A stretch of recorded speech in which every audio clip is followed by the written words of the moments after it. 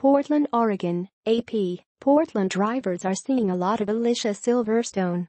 The vegan actress who starred in Clueless appears naked in a new billboard that's gone up on busy West Burnside Street.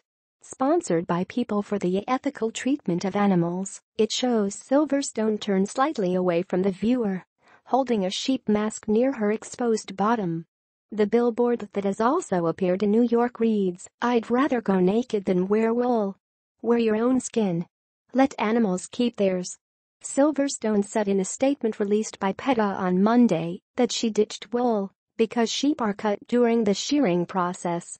The organization says Silverstone is among a list of celebrities who'd have bared it all to promote kinder wardrobe choices.